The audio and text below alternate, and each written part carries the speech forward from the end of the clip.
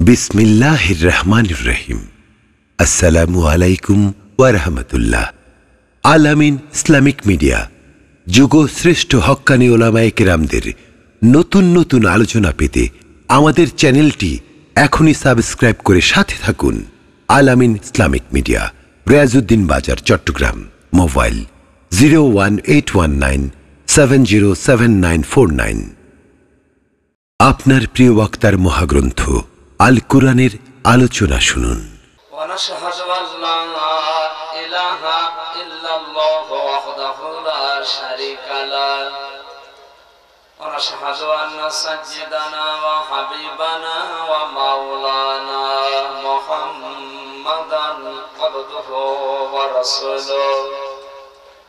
الذي أرسله بالحق بشيرا ونذيرا وداعيا إلى الله بإذنه وسراجا منيرا فقد قال الله تعالى في كلامه المجيد وقرآنه التوحيد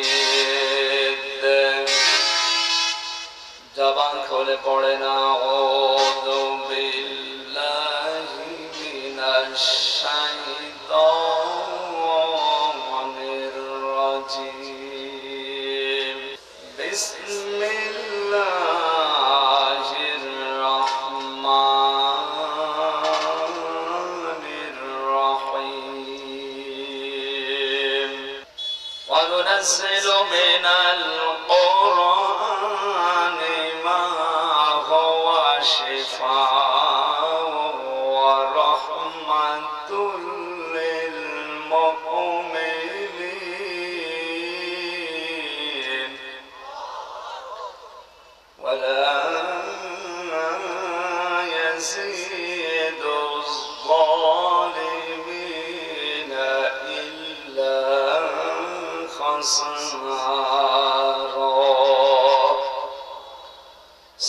صدقت يا ربنا إن الله وملائكته يصلون على النبي কক্সবাজার জেলার চকরিয়া থানার অন্তর্গত চিড়িঙ্গা পুরাতন বাস স্টেশন চত্বরে চাকরিয়া পৌর একতা সংগঠনের উদ্যোগে চতুর্থতম ঐতিহাসিক সিরাতুল নবী সাল্লাল্লাহু আলাইহি ওয়াসাল্লাম মাহফিলের স্বনামধন্য সভাপতি, প্রধান অতিথি, বিশেষ অতিথিবৃন্দ, মাহফিলের বরণের সদস্য যারা, যে মাঠে তাদেরকে পেটে নিয়েছে, আল্লাহ যেন খাদে জাতুল কোবরার মতো বানিয়ে দেন।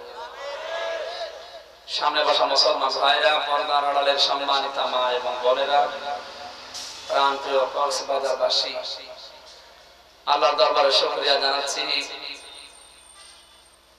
ইংরেজি মাসের শেষ আজকের এই দিনটা। এই দিনটা পালন করার জন্য এদেশের নামধারী কিছু মুসলমানেরা যে কায়দায় উদযাপন করছে, মুসলমানদের নিয়মে, ইসলামের নিয়মে বর্ষ বরণীটা একটা বছর যখন শেষ হয়ে যায় মানুষের জীবন থেকে তাহাজ্জুদের নামাজ আদায় করে। মহান মালিকের দরবারে কান্না জড়িত কণ্ঠে আল্লাহকে বলা রব্বুল আলামিন, যা করেছি হিসাব দেওয়ার মতো কোনো কায়দা আমার নেই। তুমি যদি মাফ করে না দাও। একটা বছর পরে যদি আমরা ওইভাবে উদযাপন করতাম, ছিয়ানব্বই ভাগ মুসলমানের দেশে, আমার মনে হয় আরও মালিক খুশি হয়ে যেত। সারা বাংলাদেশ মিলিয়ে আজকে যতটুকু গণা না হবে, এক কক্সবাজারে তার চাইতে দশ ডবল গোনা হবে। অলরেডি শুরু হয়ে গেছে, আরও বারোটা পরে একশো আশি মাইল বেগে চলে বেশি বলে ফেললাম। সুতরাং আমার যতটুকু ধারণা, আমি যখন একা একা থাকি, মাঝে মাঝে চিন্তা করি, আল্লাহ, বিরানব্বই সালে আমার জন্ম হয়, ছাব্বিশ বছর বয়স। আল্লাহ যদি বলে আমি হামজা। দুই হাজার সতেরো সালের ডিসেম্বরের এক তারিখ পর্যন্ত হিসাব দেওয়া লাগবে আমি মাফ করে দিলাম। শুধুমাত্র দুই হাজার সতেরো সালের ডিসেম্বরের এক থেকে একত্রিশ। একত্রিশটা দিনের হিসাব আমার কাছে দিয়ে জান্নাতে চলে যাবে আমার তো মনে হয় একত্রিশ দিনের হিসাবও সঠিকভাবে আমার দ্বারা দেওয়া সম্ভব। আর একটু আসতে বলো। আপনারাও তো দিতে পারবেন না, দিয়ে বসে আছে। হিসাব আমরা বুঝি না অনেকে। খলিফাতুল মুসলিমিন হযরত ওমর রাদিয়াল্লাহু তাআলা আনহু, যদিও হাদিসটা দুর্বল, শিক্ষার জন্য বলছে, সনদ দুর্বল। গোসল করে, সুন্দর করে আসতেছে, মৃত্যুর বারো বছর পর সুন্দর একটা জামা গায়ে সন্তান আব্দুল্লাহর সাথে স্বপ্নে দেখা। ডাক দিয়ে বলে, বাবা, কোথায় ছিলে এতদিন? হজরত অমর বলে, সন্তান, বারো বছর আমি দুনিয়ার জীবনটা ছেড়েছি। আমার আল্লাহর দরবারে কৃতকর্মের হিসাব দিচ্ছিলাম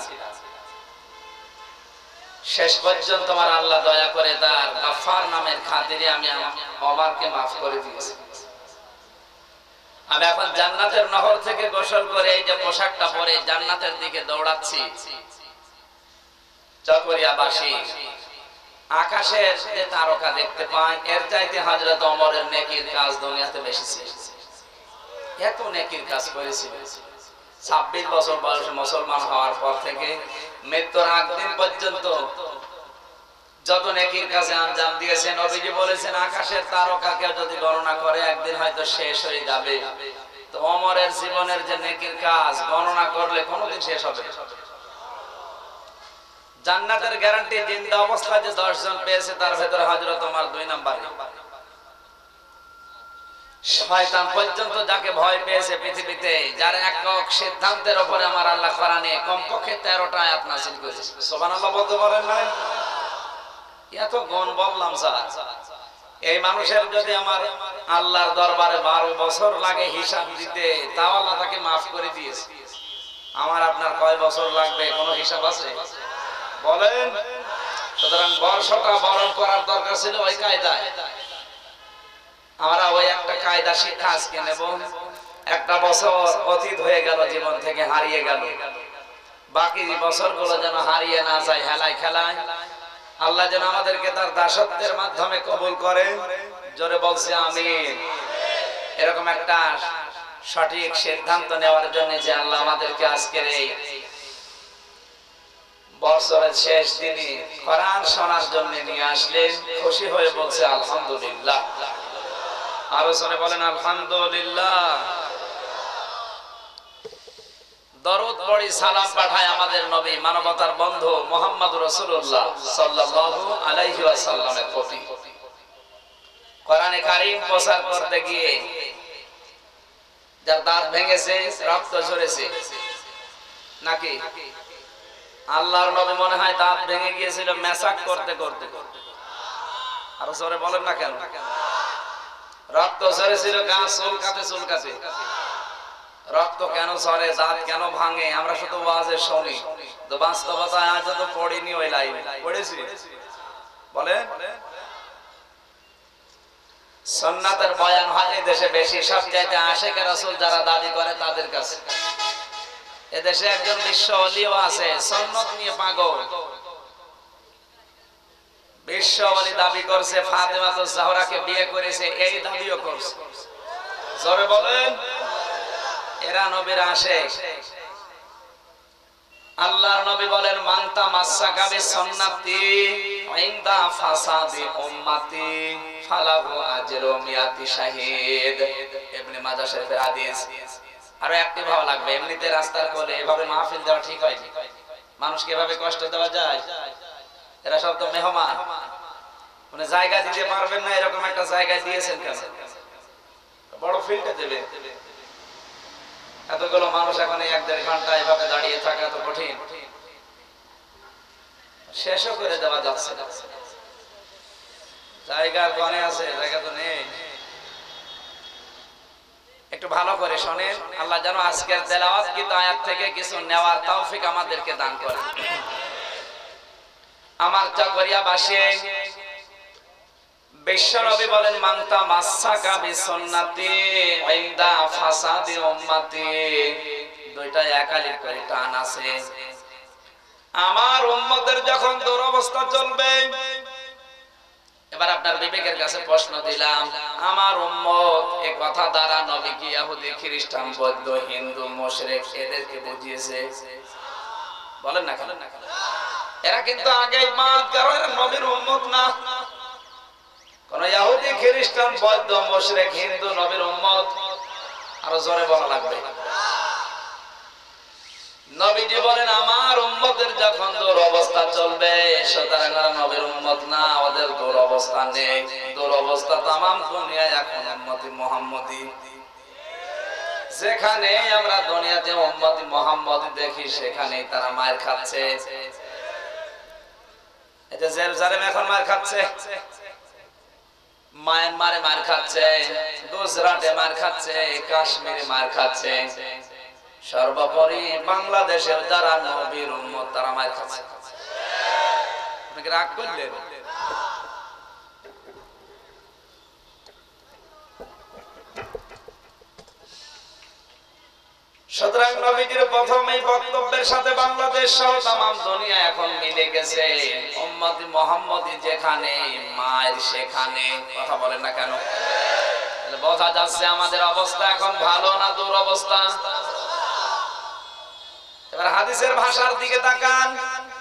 আমার উম্মতের যখন দূর অবস্থা চলবে এই কঠিন মুহূর্তে যারা একটা মরা সুন্নাতকে জিন্দা করবে ফালাহু আজরু মিয়াতি শাহিদ তাদের আমল নামা একশত গলা কাটা শহীদের না, কথা না বুঝে সবার পড়বেন। একশত গলা কাটা শহীদ মাটিতে চাপা পড়ে মানুষ মারা যায় ও শহীদের মর্যাদা পায় কিন্তু ওইরকম শহীদ না। পানিতে ডুবে মানুষ মারা যায়, শহীদের মর্যাদা পায় কিন্তু এই শহীদ না। আগুনে পুড়ে মারা গেছে অ্যাক্সিডেন্ট হয়ে মারা গেছে এই শহীদ না। আল্লাহর নবী বলেন সিহাজের ময়দানে যারা নিজের গলাটা পর্যন্ত কেটে দিয়েছে আল্লাহর জন্য, এরকম শহীদ। একটা প্রমাণ দিচ্ছে, যেমন আমির হামজা রাদিয়াল্লাহু তাআলা আনহু। তার লাশকে কাফেরেরা উহুদের ময়দানে 70 টুকরা পর্যন্ত করেছিল। গত বছর আমি নিজের চোখে দেখে আসলাম আমির হামজার খবর তার লজ্জা স্থানকে কেটে তিন টুকরা করেছে। লাশ যখন যাহাদের ময়দান শেষ হয়ে গেল যুদ্ধ, লাশ অনুসন্ধান করে দেখা গেছে অনেকগুলো টুকরা পাওয়া যায়নি। এমনকি লজ্জা স্থানের দুই টুকরা পাওয়া গিয়েছে, এক টুকরা পাওয়া যায়নি। এত রাগ ছিল তার উপরে কাফেরদের। গরু যেভাবে জবাই করার পরে গোশত তৈরি করে, আমি হামসার লাশকে ঠিক ওই কায়দা করেছিল। এক একটা টোকরা পাহাড়ের এক এক প্রান্তে ওরা ফেলে দিয়েছে। নবীজি সাহাবিদেরকে দিয়ে শেষ পর্যন্ত অনেকগুলো টোকরা এক জায়গায় করতে পারেননি। নিজের চাদরটা খুলে দিলেন, লাশটা ঢাকলেন। মাথা থেকে হাঁটু পর্যন্ত ঢাকে, পা বেরিয়ে থাকে। কারণ হজরত আমির হামসা ছিলেন অনেক লম্বা। পার দিকে ঢাকতে যায়, মাথা বেরিয়ে যায়। নবীজি পৃথিবীতে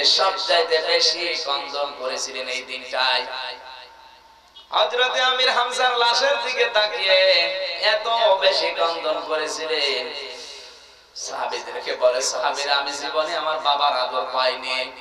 এই চাইতে দিয়ে মানুষ কিন্তু তার লাশ টাশ দেখে কিছু টোকরায় পাওয়া যাচ্ছে না। নিজের হাতে তার জানাজা পড়িয়ে মাটিতে রাখলেন। খবর দেওয়ার পরে তিনি ডাক দিলেন, রব্বুল আলামিন, আমার চাচা আমির হামসার প্রতি আমি এই পর্যন্ত রাজি ছিলাম। তুমি আমার মালিক, তোমাকে বলছি, আল্লাহ, তুমি আমার চাচার উপরে রাজি হয়ে যাও।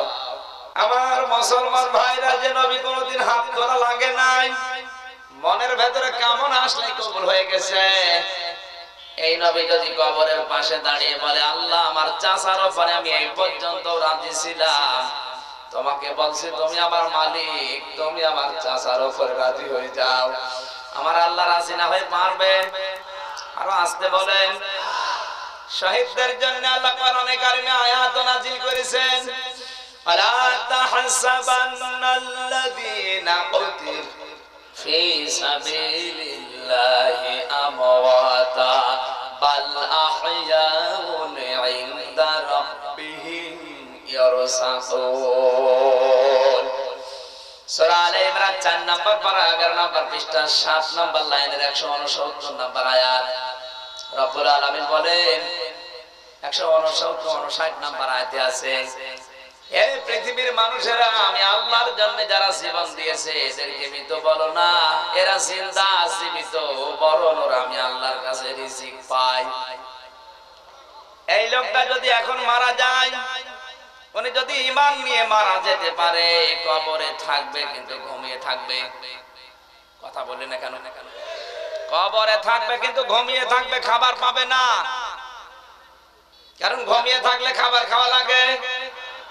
আসতে বলে।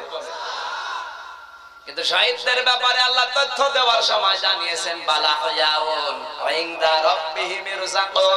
ওরা জিন্দা, জীবিত এবং আমি আল্লাহর কাছে পাই।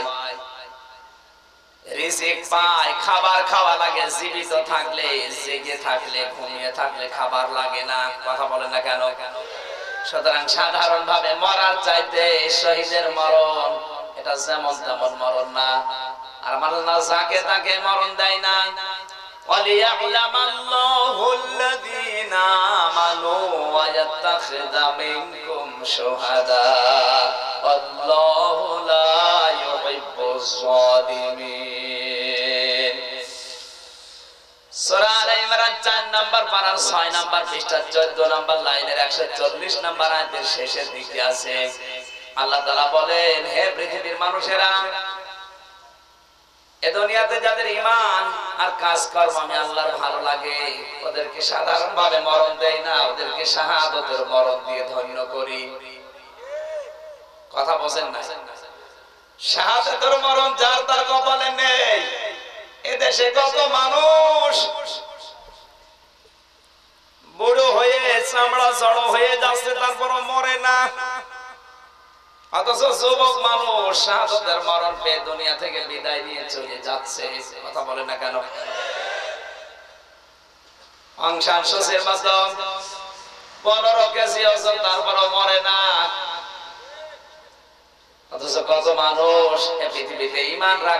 মায়ানমারের অনেক মুসলমান জীবন দিয়ে বিদায় দিয়েছে কথা বলে না কেন?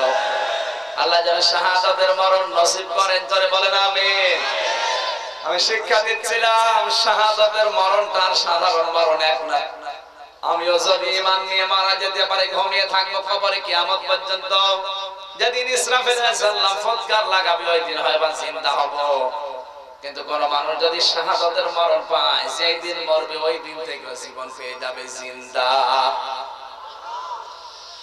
শাহাদাত বরণ করলে যে জিন্দা থাকে, তার বাস্তব আর একটা প্রমাণ আমির হামজার ছোট্ট মেয়ে। যুদ্ধ শেষ হওয়ার পরে কবরে রেখেছে। ডাক দিয়ে বলে, ভাই, যেহেতু চাষা তো ভাই ছিল, ডাক দিয়ে বলে, ভাই, আপনার মুখে শুনেছি কোরআনের আয়াত, যারা শাহাদতের মরণ পায় তারা নাকি মরে না, জিন্দা থাকে। আপনি আমার বাবাকে একটু দেখান না কেন? আল্লাহর নবী বলেন, বোন আমার, দেখাবো কি করে? তোমার বাবা জান্নাতে চলে গেছে। আমার ভাইরা ছোট মানুষ আকাশের দিকে তাকিয়ে ডাক দিচ্ছে, বাবা, এই যে আমি এখানে। নবীজি বললেন, কাকে ডাক দাও? ছোট্ট মানুষ বলে, ভাই, ওই যে আমার বাবা, দেখি কাদের সাথে যেন পাখা লাগিয়ে উড়ে বেড়াচ্ছে। আমার আমি শিক্ষা দিচ্ছিলাম, শাহাদতের মরণ, গলা কাটা শহীদের মরণে যেমন তেমন মানুষ পায় না। আর এদের মর্যাদা ছোট খাটো না, অনেক বেশি। শাহাদাতের মরণ যারা পাবে, কিয়ামতে আল্লাহ তাদের কোনো বিচার করবে না, হিসাব নেবে না। বিনা বিচারে, বিনা হিসাবে তারা জান্নাতি। আরও আসতে বলেন। কি বুঝলাম এখান থেকে এতক্ষণ পর্যন্ত?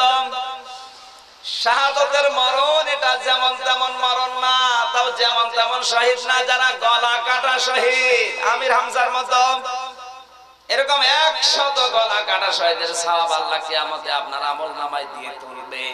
কি করলে? একটা মরা সন্ন্যত জিন্দা করলে। কি কথা বোঝা যায় এবার মরা সন্ন্যত কাকে বলে আপনি কোনদিন ভেবেছেন?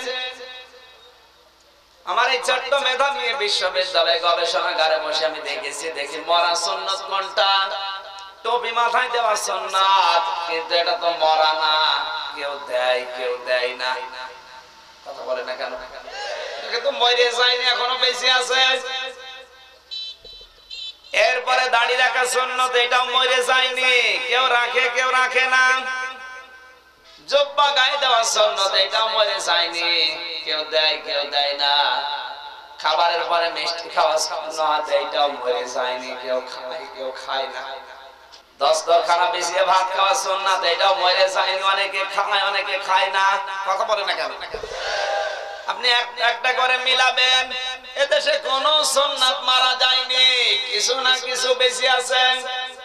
আমার এই ছোট্ট মেধায় ধরা পড়েছে, একটা সুন্নাত এই দেশে মারা গেছে।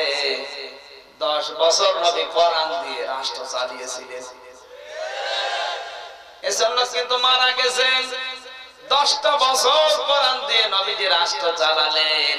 অথচ একটা বছরও কোরআন দিয়ে বাংলাদেশ চলে নাই। ওই সন্ন্যতের কথা যদি বলা হয়, কিছু মানুষের চুলকানি ওঠে। দাড়িওয়ালা, টুপিওয়ালা মানুষ বলে, হুজুর, এটা রাজনীতি। বছর নবী যে কাজ করেছে, ওটা রাজনীতি হয় কোন কাজ? কথা সহজ কথাগুলো বোঝে না, শুধু উল্টা দিকে নিয়ে যায়।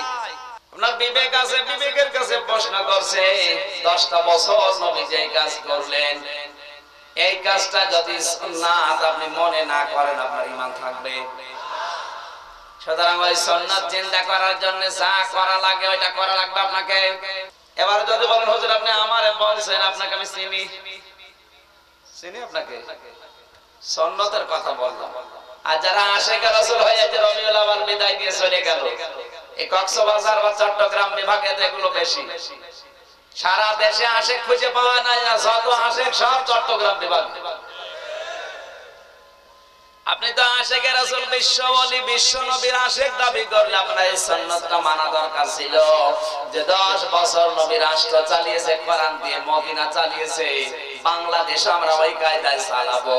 এর জন্য যদি দল করা লাগে করব, সংগঠন করা লাগে করব সাদা দেওয়া লাগে দেব, মিছিল, মিটিং করা লাগে করব, ভোট দেওয়া লাগে দেব, সবগুলোর নাম ইসলামী আন্দোলন। কথা বলে না কেন এই সুন্নত বুঝতে চাই না রাজনীতি দুনিয়ার কাজ। আমরা কোনো নেই। ইল্লাল্লাহ। কাউকে কিছু টাটকা নির্বাচন শয়তান। নবী তুমি বড় আল্লাহর নবী যে এই সুন্নাতটা জিন্দা করার জন্য চেষ্টা করেছিলেন, সর্বপ্রথম যেটা এসেছে তার প্রতি গালি গালাজ এমনকি সর্বপ্রথম নবীকে পাগল বলে গালি দিয়েছে। আরও আসতে বলেন। ভালো করে বসেন কোরআনের কথাগুলো, আজ বাস্তবে মিলবে। ওয়াল কলামি ওয়া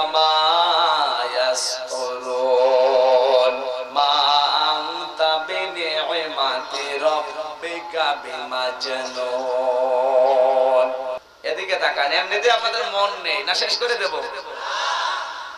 নুন শব্দ দিয়ে আল্লাহ আয়াত আরম্ভ করলেন। নুন এ শব্দের অর্থ শুধুমাত্র আল্লাহ জানে।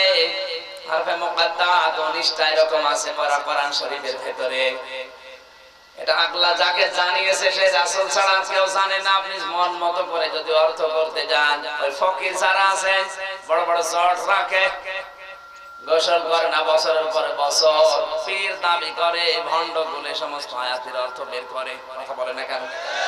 আল্লাহ যেখানে নিষেধ করছে, তোর হাত দেওয়ার দরকার কি? দুই নাম্বারে আল কলামি আমায়াস্তরুন কলমের কসম কিসের? আর কলম দিয়ে লেখকরা যা লেখে ওই জিনিসের কসম।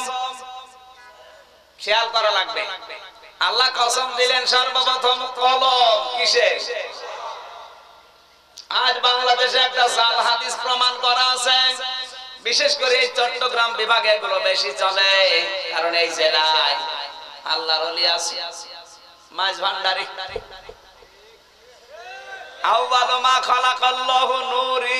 সর্বপ্রথম আল্লাহ বানিয়েছে।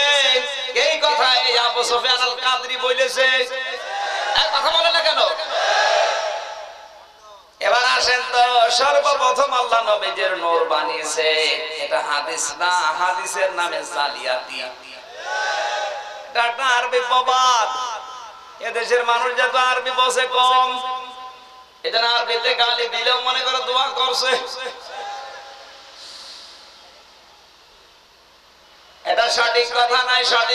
সর্বপ্রথম আল্লাহ বানিয়েছেন কলম।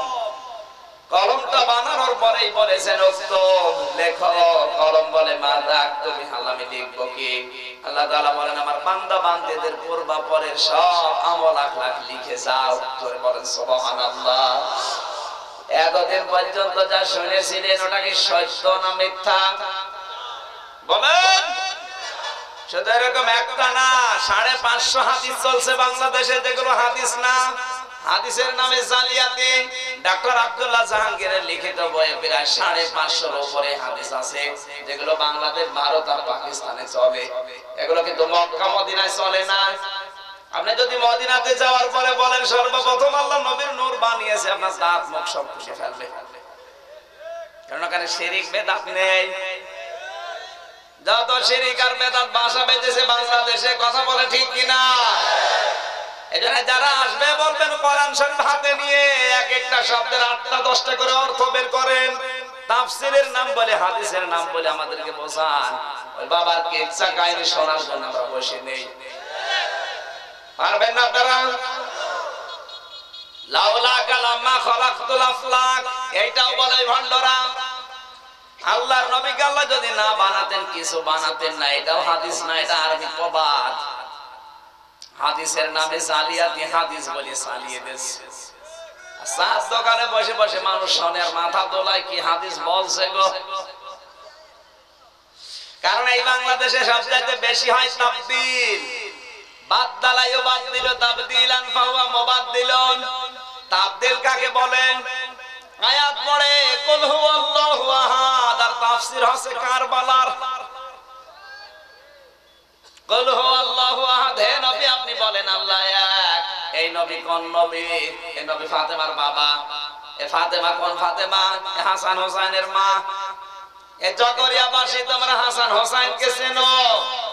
কারবালার প্রান্তরে শহীদ হয়েছে হোসাইন। এই শুরু হয়ে গেল কারবালার ঘটনা, আড়াই ঘণ্টা।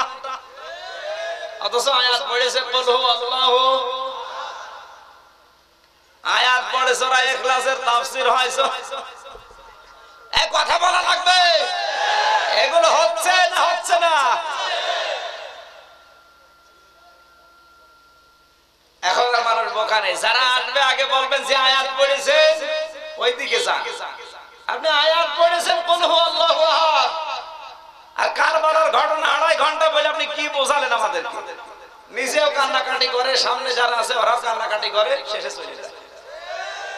হোসাইনের অথচ হোসাইন জীবন দিয়েছে রাজতন্ত্রের বিরুদ্ধে। ছিয়ানব্বই ভাগ মুসলমান এই দেশে। অবৈধ কাজ কত হচ্ছে, আল্লাহ জানে, আর যারা করছে তারা জানে। আমরা যদি বিশ্বাস না হয়, আপনি এখন আমার সাথে চট্টগ্রামে কক্সবাজারে সমুদ্র সৈকত চলে আমি বললাম না, এক বছরও মানুষ যত ইজ্জত হারায়নি আজকে তার সাথে বেশি হারাবে। ওটাই কোনো বাধা নেই, আরও বলে দিয়ে পাহারা দিচ্ছে।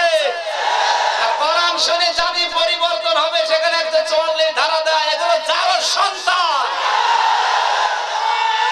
হ্যাঁ তাকবির দেওয়ার দরকার। তাকবির দেওয়ার দরকার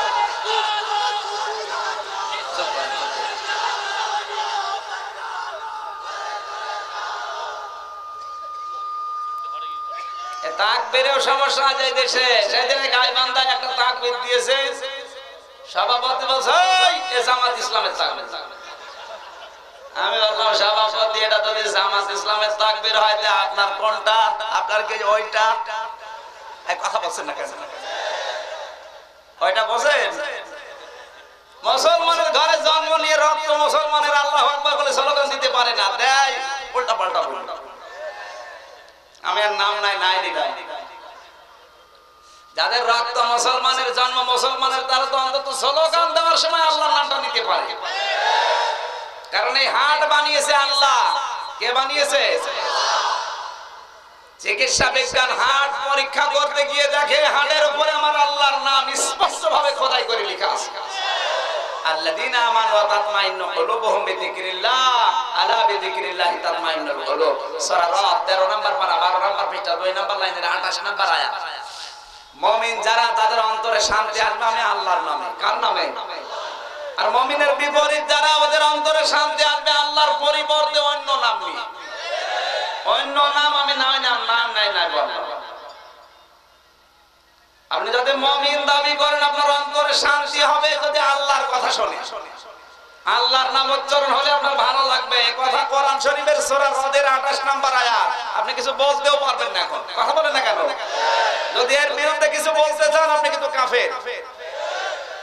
মমিনের বিপরীত যারা, ওদের অন্তরে শান্তি আসে, আল্লাহ বাদে অন্যের নাম নিলে। আপনি দেখবেন চার দোকানে বসে বসে আল্লাহর কথা বলে না।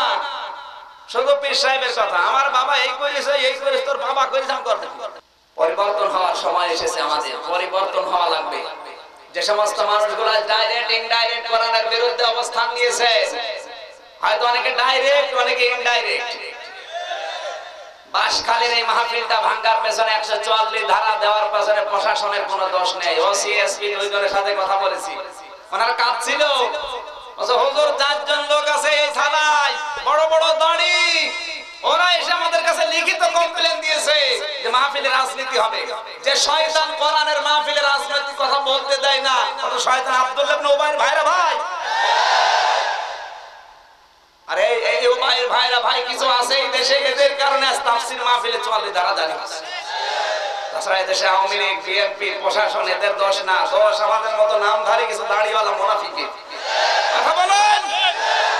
কক্সবাজারে আছে না নেই? কিন্তু এ পর্যন্ত আসতে পারে না তাই। যারা আসবে, সব খুলে ফেলবেন একেবারে।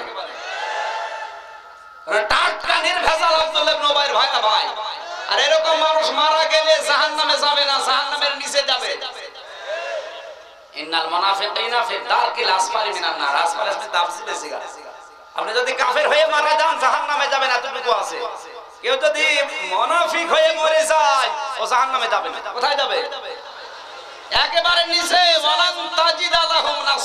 কোনো সাহায্যকারী পাবেন না। সাবধান হওয়া লাগবে মুসলমানদের। বাংলাদেশে ইসলাম কায়েম না হওয়ার পেছনে সবচাইতে বড় ভূমিকা পালন করছে কিছু নামধারী মুনাফিক। কত জায়গায় চলে যাচ্ছে সব কিছু নিয়ে কোনো বাধা নেই। তাফসীর মাহফিল দেখলে ওর গায়ে আগুন লাগে। কারণ জানে যে তাফসীর মাহফিলে সঠিক কথাগুলো যদি জনগণ জেনে ফেলে, আমি যে আবরণ দিয়ে ঢেকে আছি আবরণ খুলে যাবে, মানুষ আমার চিনে ফেলে সুতরাং আমাদের আরও সাবধান হওয়া লাগবে এখনই। যে সমস্ত মানুষগুলো ডাইরেক্ট ইনডাইরেক্ট বিরুদ্ধাচরণ করছেন, আমরা তাফসীর মাহফিল থেকে আহ্বান জানাচ্ছি, কারণ এটা ভিডিও হচ্ছে। কালকে এডিটিং করে সারা দুনিয়ায় ছড়িয়ে যাবে এটা।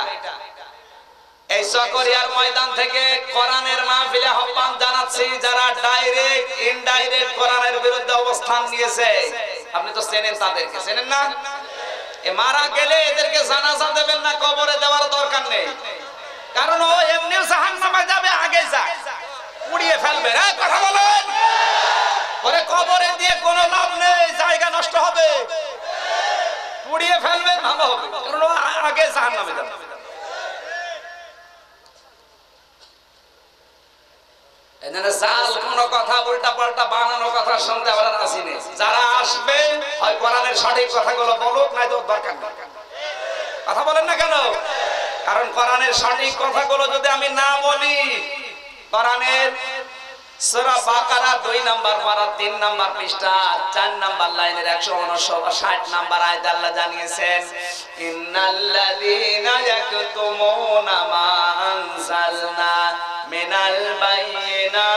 ওয়াল হুদা।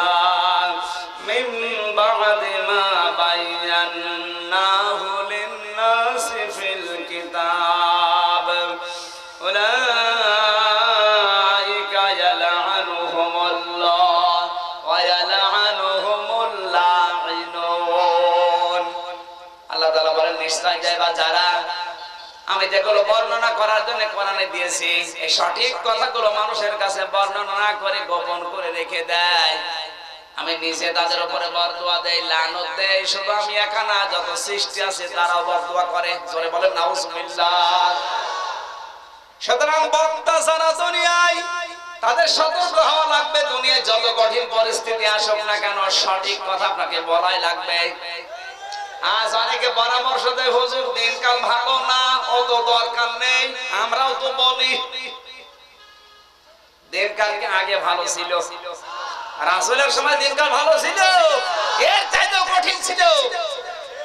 ওই সময় যদি রাসুল নিজেকে শব্দ রেখে দিনের কথা বলতে পারেন, আমাদের কি হয়েছে? সুতরাং যারা বক্তা হবে, তাদের জন্য সঠিক কথা বলা ফরজ। যদি না বলে, তার উপরে লানত করে কে? দুই নাম্বার, যারা কমিটিতে আছে, তাদেরকে বলছে, কমিটিতে দায়িত্বে যারা আছে, আমাদেরকে নিয়ে আসেন। আল্লাহ পাক বলেন আমানে আসলা মুমিন মাম্মানা মাসাজিদ আল্লাহি আইয়াজকারা ফিহা ইসমুহু ওয়া সাফি খারাবিহা। প্রথম নাম্বার পারা 17 নাম্বার পৃষ্ঠা 3 নাম্বার লাইনের 114 নাম্বার আয়াতের প্রথম অংশে আছে। আল্লাহ বলেন, পৃথিবীর বড় জালেম ওই লোকটা, ওই কমিটির লোকেরা সব চাইতে বড় জালেম, যারা আমার আল্লাহর ঘরে কোরআনের মাহফিলে, তাফসির মাহফিলে আল্লাহর নাম উচ্চারণ হতে দেয় না। আল্লাহর নাম বলতে কোরআনের সঠিক কথাগুলো তারা বলতে দেয় না। কথা বলেন না কেন? সেদিন এক মাহফিলে উঠছিলাম এই চট্টগ্রামে। আমি বলেছি, আগে আল্লাহর অলি দিয়ে শুরু, আমি ওই সঠিক সরিতে আমার কানে কানে একজন এসে বলছে, হুজুর, কোরআনের কথা দেখে বলবেন, ক্ষমতায় আছি আমরা। ক্ষমতায় কি ওরা? বলেন। যারা বলে কোরআনের কথাও দেখে বলবেন, ক্ষমতায় আছি আমরা। আর আল্লাহর ক্ষমতা বিশ্বাস করে। আপনারা ঘুমাচ্ছেন বলেন। যারা আল্লাহর ক্ষমতায় বিশ্বাস করে না চার আঙ্গুল জায়গার ক্ষমতা পায় ওরা তো শয়তান। কারণ শয়তান অহংকার করেছিল ক্ষমতার কিসের আমার ভেতরে পাওয়ার আছে, ওর ভেতরে ক্ষমতা নেই পাওয়ার নেই। আমার আল্লাহ এটা সহ্য করেন, ওকে জান্নাত থেকে তাড়িয়ে দিয়েছে। কোনদিন শয়তানকে আল্লাহ জান্নাতে দেবে না, ক্ষমা করবে না। আর যারা পাওয়ার পেয়ে, ক্ষমতা পেয়ে, সিয়ার পেয়ে আনন্দ করবে।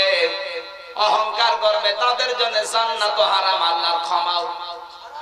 আরও জোরে বলেন আমাদের অবস্থা যেন শয়তানের মতো হয়ে না যায়। জোরে বলেন আমি আমার ভাইয়ের আমি শিক্ষা দিচ্ছিলাম, কমিটিতে যারা দায়িত্ব পালন করছে, আপনি সঠিক কথাগুলো যদি বলতে না দেন, মানা করেন, নিষেধ করেন, তাহলে আপনি ছোট খাটো জালেম না, বড় জালেম? তিন নম্বরে যারা বসে আছে এখানে শ্রোতা, তাদেরকে আল্লাহ সতর্ক বাণী দিয়েছেন।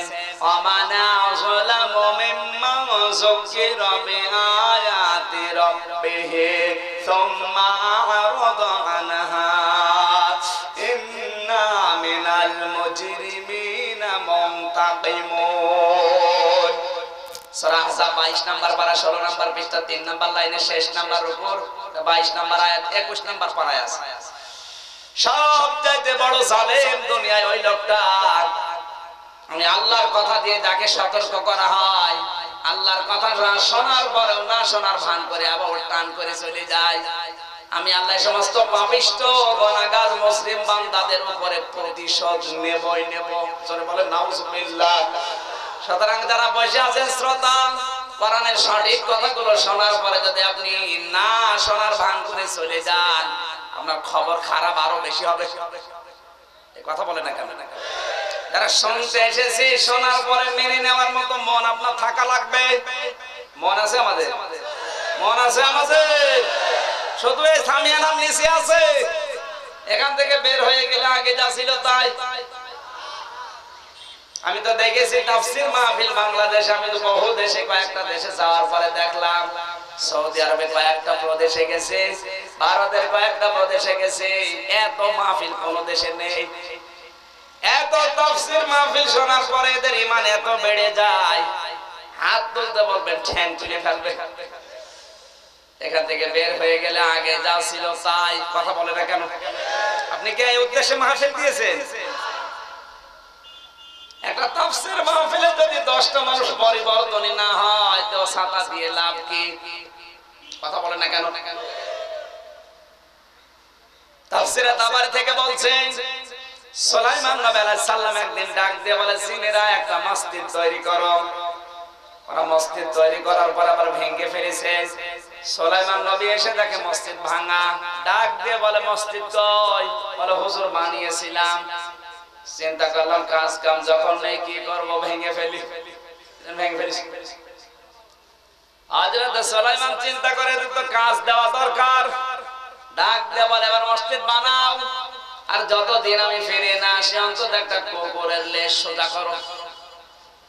মসজিদ কমপ্লিট করার পরে তামাম দুনিয়া ঘুরে একটা ডিজিটাল কুকুর পেয়েছে। কথা বোঝেন আমার? ডিজিটাল দেশের ডিজিটাল এক কুকুরের লেশ সোজা করছে। যত টানে লম্বা হয় ছেড়ে যায় কাছে যায়। জিনেরা বলছে কি, কুকুর না কলেরা? হবে না। তেল মোবাইল নিয়ে আয়। তেল দিয়ে মোবাইল দিয়ে যত টানা টানি করে লম্বা হয়, ছেড়ে দেয়, কাছে যায়। জিনেরা বলছে, হবে না, বাঁশ নিয়ে আয়, জায়গা মতো বাঁশ দে। বাঁশ দিয়ে টাইট করে বেঁধে রেখেছে। সাত দিন পরে ছেড়ে দিয়েছে, আবার যা ছিল তাই। সলাইমান নবী এসে দেখে, ওরা টানা টানিতে ব্যস্ত। ডাক দে বলে, কি করো? বলে, হুজুরে কি কুকুর না ডিজিটাল কুকুর? এত টানা টানি করে লম্বা হয়, ছেড়ে যায় কাছে যায়। আমাদের দ্বারা হবে না। আমার মনে হয় যতটুকু আমার ধারণা, এই দেশের মুসলমান সম্পর্কে চরিত্র ঠিক আমাদের কুকুরের দেশের মতো। কত কায়দায় আমরা টানাটানি করি গো। কোরআন দিয়ে, হাদিস দিয়ে, বাস্তবতা দিয়ে আসে, ইঙ্গিত দিয়ে, ইশারা দিয়ে, মনে হয় যে সোজা হয়ে গেল। আল্লাহর নবী মোহাম্মদ রাসূলুল্লাহকে আমার আল্লাহ কলমের কসম দিয়ে জানিয়েছেন, হে নবী, সর্বপ্রথম আমি কলম বানিয়েছি। আর যে সমস্ত ভণ্ডগুলো এই জাল হাদিসগুলো মানুষের কাছে বলে, আল্লাহ সর্বপ্রথম নবীর নবীকে না কিছু বানাতেন না। কলবুল আরশুল্লাহ, মুমিনের কলম আল্লাহর একটাও হাদিস না, সব হাদিসের নামে জালিয়াতি। এরকম কথা শোনা যাবে? কলমের কসম কেন দিলেন? কারণ এই কলম দিয়ে মানুষ সব চাইতে ভালো কাজও করতে পারে, সব অন্যায়ও করতে পারে। কলম দিয়ে জাল দলিল করে অন্যের সম্পদ লিখে নেয়। কলম দিয়ে একটা ভালো মানুষের নামে মামলা, মিথ্যা দিয়ে তাকে জেলে ঢুকিয়ে দেয়। না, এসব জেলায় মনে হয় এগুলো নেই। কিচ্ছু জানে না, ঘরে ঘুমিয়ে আছে। ঘুম ভেঙে দেখেছে খানায় কি গো? তুই গাছ কেটেছিস, গাড়িতে আগুন লাগিয়েছিস কি দিয়ে করলে? বলে, কলম দিয়ে তোর নামে আমি রিপোর্ট দিয়েছিলাম, এই জন্য ধরে নিয়ে গেছি। অথচ ওই লোকটা কিচ্ছু জানে না। কথা বলে না কেন? এরকম মানুষ দেশের নেই। যত ভালো কাজ আছে দুনিয়ায় তাকান, সব ভালো কাজের মূলে কলম। আর যত অন্যায় আছে, সব অন্যায়ের মূলে কে? এই কলম দিয়ে জনকে কলম যুদ্ধ করে যাচ্ছে, কিন্তু তাদের সংখ্যা খুব কম। এই যে যে সাংবাদিকরা এসেছিল কলম দিয়ে লিখে হয়তো কালকে মাহফিলের রিপোর্ট দেবে। কত সাংবাদিক আছে এগুলো রিপোর্ট দেওয়া দূরের কথা ওর বিরুদ্ধে লিখে। না, ওখানে রাজনীতি হয়েছে। আমাদের বিরুদ্ধে বলেছে, বানিয়ে বানিয়ে কথাগুলো তুলে দেয়। সেদিন কক্সবাজারের চট্টগ্রাম সিলেটের ওসমানীনগর মাহফিলে আমি বিশ্বনবী মোহাম্মদ রসুল্লাহর ভালোবাসার উপর একটা কথা বলেছিলাম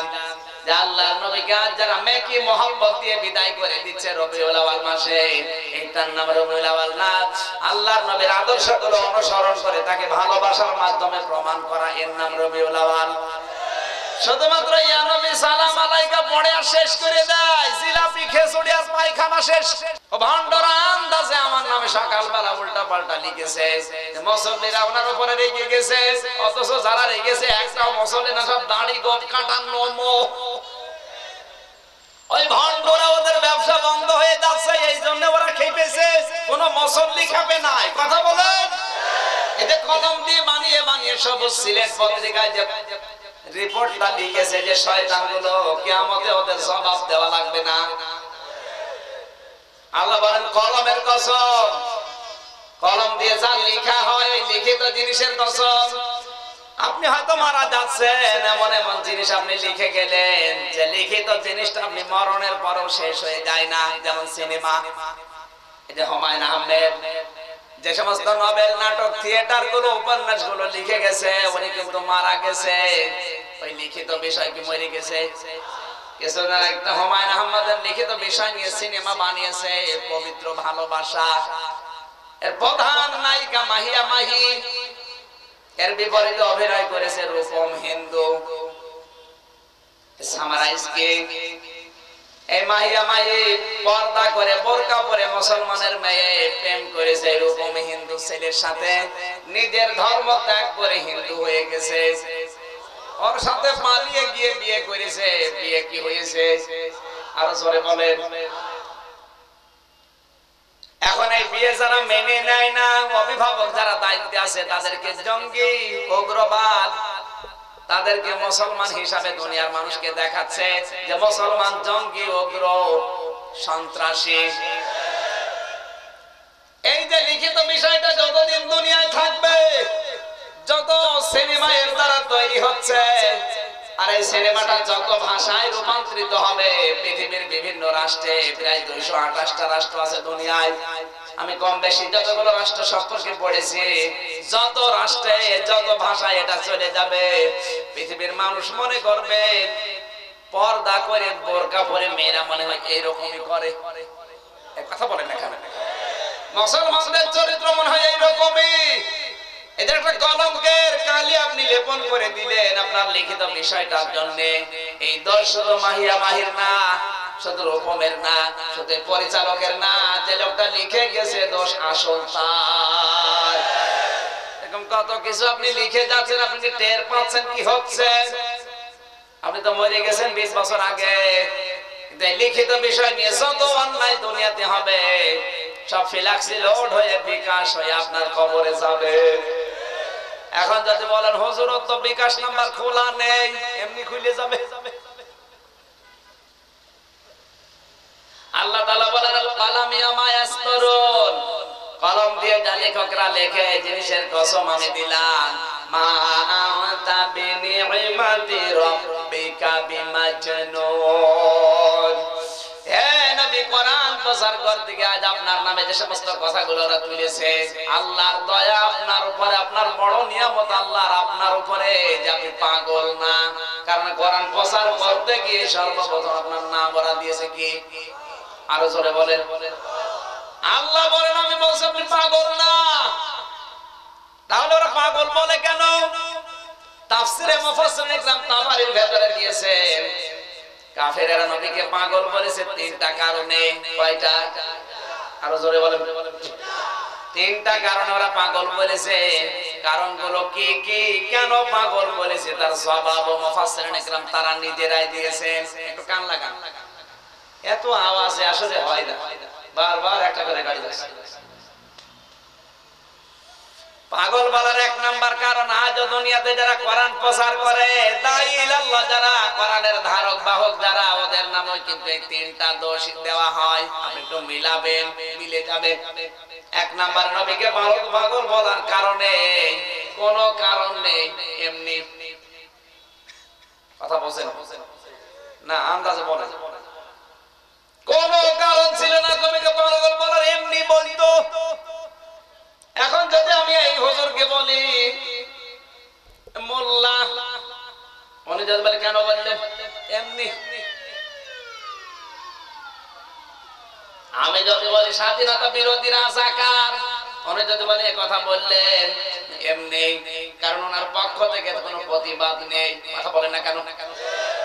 ওই সময় কাফেরেরা যা মনে আসে, তাই বলে, এমনি, কারণ নবীর পক্ষ থেকে কোনো প্রতিবাদ করার মতো ক্ষমতা ছিল না। আজও তাম দুনিয়ার মুসলমানদের বিরুদ্ধে, বিশেষ করে কোরআনওয়ালা যারা ওদের বিরুদ্ধে বিষদগার করছে, মিডিয়ার মাধ্যমে, পত্রিকার মাধ্যমে, স্যাটেলাইটের মাধ্যমে, কত কায়দায় করছে। কোন কারণ নেই। এমনি আপনি কি রাগ করলেন? আরও মনোযোগ দিয়ে শোনেন, কোন কারণ নেই আমাদেরকে, এমনি গালি দেয়। আমি যদি একটু জোরে যাই, বলবে দাওয়াত পেয়েছে। যদি আসতে যাই, বলবে কি খাওয়া খেয়েছে। অথচ আমরা এখন যেমন খেতেও পারি না। আসার পরে খাবার চেয়েছিলাম, তিন ঘণ্টা পরে খাবার আমি তো খেতেই পারি না। আর উনি সব খায়। রাস্তা ব্রিজ কালভার্ট লাল পানি, সাদা পানি, সব খায়, তারপর কিছু খায় না। আপনি আবার কিছু মনে করবেন এরকম মানুষ দেশে আছে, সব খায়। মানে বাবা খায় আবা খায় ডাল খায়।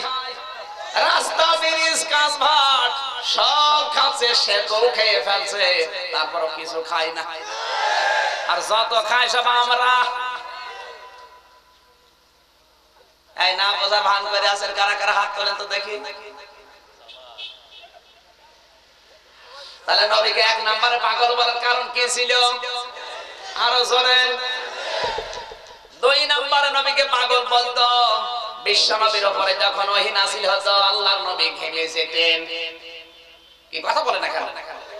নবী অস্থির হয়ে পড়তেন। বিশ্ব নবী বসে পড়তেন, স্বাভাবিক অবস্থা তার থাকতো না, অস্বাভাবিক হয়ে যেতেন, কারণ ওহির একটা ভার আছে না নেই।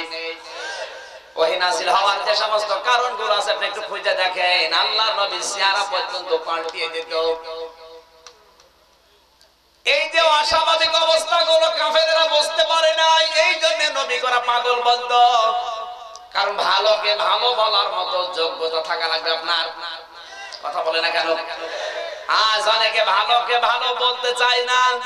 কারণ আপনি সারা জীবন যা ধরেছেন সব অন্যায়। যেদিকে হেঁটে গেছেন সব অন্যায় পথ, যা খেয়েছেন সব অন্যায়। সব হারাম খাবার, এমনকি চোখ দিয়ে যা দেখেছেন সব অন্যায়। এই জন্য নবীকে নবী বলে চিনার মতো যোগ্যতা তাদের ছিল না। ওরা যা করেছে, মনে করেছে, নবী মনে হয় এইরকমই। কথা বলে না কেন? বিশ্ব নবীকে চিনতে হলে তো তাদের যোগ্যতা থাকা লাগবে।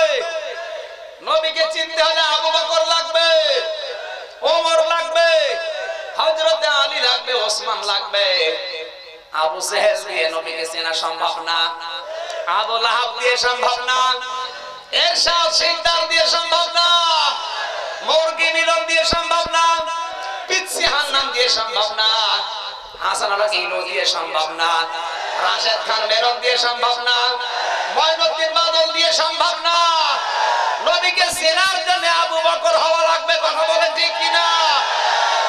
ওদের যোগ্যতায় ছিল না, চেনারতে চিনবে কি করে? এই জন্য নবীর ওই অবস্থা স্বাভাবিকের চাইতে অস্বাভাবিক দেখে মনে পাগল হয়ে গেছে। আমার মনে হয় আলেম যারা আছে তারা বুঝবে ভালো। তিন নম্বরে যে কারণটা আল্লাহর নবীকে পাগল বলার পেছনে বলব না, শেষ করে দেব। আল্লাহর নবীকে পাগল বলার তিন নম্বরে কারণে বিশ্ব নবী মোহাম্মদ রসুল্লাহ ওই সময় কিন্তু একা তাওহিদের দাওয়াত নিয়ে দাঁড়িয়েছিলেন। এই যে ইমাম সাহেব মনে করেন ইনি, কোন মসজিদে যদি বেদাত কাজ শুরু হয়, উনি যদি বলে, আমি বেদাতের বিরুদ্ধে দাঁড়াবো। মুসল্লিরা দুইশো যদি থাকে হুজুর, আপনি চান দিনকাল ভালো না, আমরা যাব না। একটা সন্ন্যত প্রতিষ্ঠা করতে, বেদাত বিদায় করতে গিয়ে ইমামের পেছনে যদি কেউ আজ না থাকে, ওই সময় তামাম দুনিয়ায় বিশ্ব নবী শুধু একা।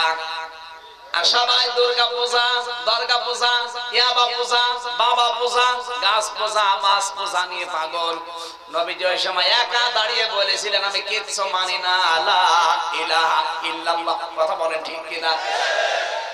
এই জন্য কাফেরেরা বলেছিল, লোকটা পাগল হয়ে গেছে। আমরা সবাই একদিকে আর উনি একা একদিকে। নবীকে পাগল বলার পেছনে কারণ কয়টা?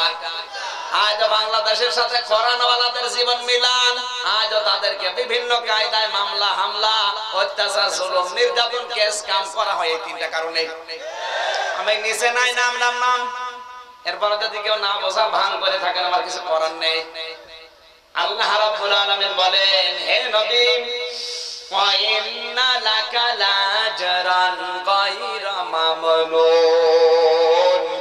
আপনার কোনো চিন্তা নেই, আমি আল্লাহ আপনাকে পুরস্কার দেব, জোরে বলেন আমিন। এত বড় কঠিন অবস্থা চলছে, নবীকে আল্লাহ কি পুরস্কার দিয়েছিলেন? বিশ্ব নবীকে পাগল বলেছে, ওরা শুধু পাগল বলে নাই। বাইরের দেশ থেকে যারা এসেছে, তাদের তাবুতে যে যে বলেছে, আমাদের দেশে একটা পাগল আছে, নাম তার মোহাম্মদ। তার কথা শুনতে যাবা না, কি বলে তার কাছে যাওয়া যাবে না। যে সমস্ত মানুষগুলো বাইরের রাষ্ট্র থেকে হজ করতে এসেছে, ওরা কিন্তু নবীকে চেনে নাই, কোনোদিন নাম শোনে নাই। আবু জেহেল নিজে যেয়ে তাবুতে প্রচার করে দিয়ে আজও দুনিয়াতে মুসলমানদের যে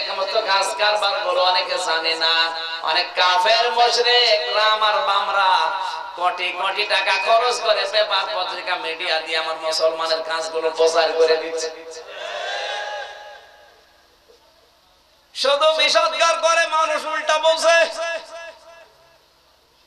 কাফেররা এই কথা বলার পরে অন্যান্য যারা এসেছিল দেশ থেকে, ওরা চিন্তা করছে, পাগলের তো অ্যাডভার্টাইজ লাগে না, এবার কোন পাগল?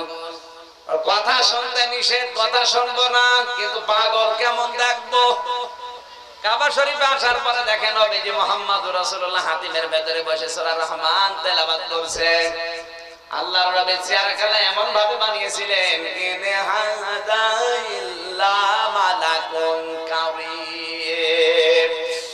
হযরত ইউসুফকে দেখে মিশরের মেয়েরা বলেছিল, এটা তো মানুষ না, এটা সম্মানিত ফেরেশতা। ইউসুফ নবীকে দেখে যদি এই কথা বলতে পারে মেয়েরা আয়েশা বলেন, আমার নবীকে যদি মিশরের মেয়েরা দেখতো, কলিজা কেটে ফেলতো, টের পেত না। কত সুন্দর করে বানিয়েছিল নবীকে। এই নবীর চেহারা একবার দেখার পরে ওদের মন, মেজাজ সব ঘুরে গেছে।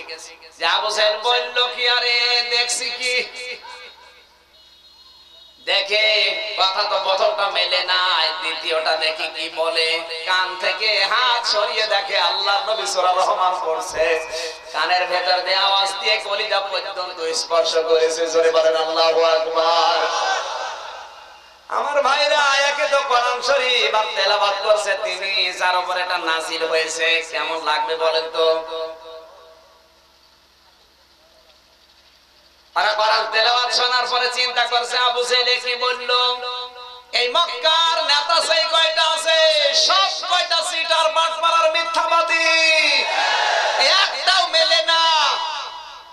এবার আপনি নিজের বিবেক দিয়ে বলেন যারা বাইরের দেশ থেকে এসেছিল, এই মানুষগুলোকে যে ভ্রান্ত ধারণা আবু জেহেল দিয়েছে, একটা তো মেলে না।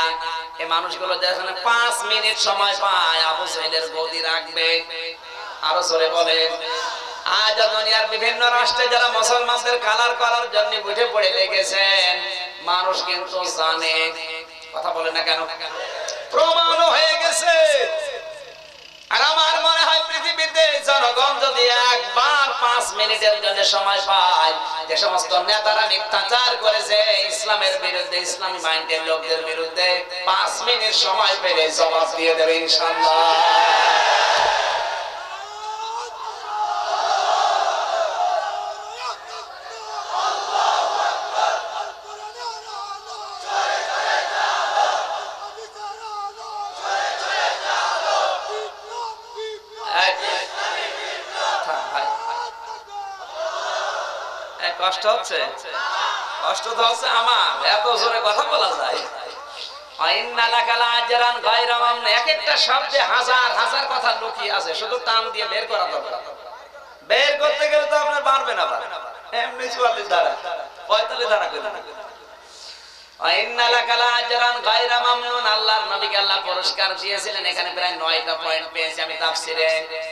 তার একটা হচ্ছে আল্লাহর নবীর প্রচার করেছে, আল্লাহ কাফেরদের দ্বারাই কথা বলে না কেন?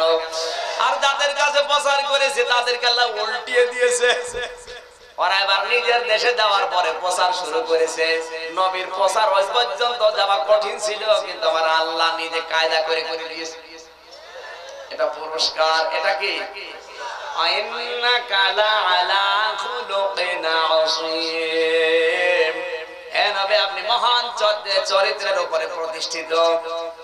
বিশ্বনবীকে আল্লাহ এত বড় চরিত্র দিয়েছিলেন, কিয়ামত পর্যন্ত এত বড় চরিত্র আর কাউকে আল্লাহ দেবে না। অসীম শব্দ আল্লাহ দুনিয়ায় কোন নবীর নামের আগে পরে দেননি। ইসমাইল নবীকে আল্লাহ দিয়েছেন গোলামিন হালিম, আমার সহনশীল বান্দা। হযরত ইসহাক নবীকে আল্লাহ দিয়েছেন গোলামিন আলিম আমার জ্ঞানী বান্দা। আর মোহাম্মদ রাসূলুল্লাহকে আল্লাহ দিয়েছেন খুলুকিন আসিম আমার মহান বান্দা, এত বড় চরিত্র নবীকে আমি দিয়েছি প্রতিদিনের দিগার বিভাগে। কিয়ামত পর্যন্ত মানুষ অনুসরণ করবে কুল কিনারা পাবে না। আল্লাহর নবী স্বামী হিসাবে কেমন ছিলেন তাকান। আজ এখানে অনেক স্বামী বসে আছেন। একটু মিলান তো নিজের সাথে। বিশ্ব নবী রাষ্ট্রের দায়িত্ব পালন করে এসে দেখে নিজের ছোট স্ত্রী হাজরাতে আয়েশা ছয় বছর বয়সে বিয়ে করেছিলেন, নয় বছর বয়সে বাড়িতে নিয়ে এসেছেন। হাজরাতে আয়েশা ছোট মানুষ, রুটি বানাতে বানাতে ওই জায়গায় ঘুমিয়ে পড়েছেন।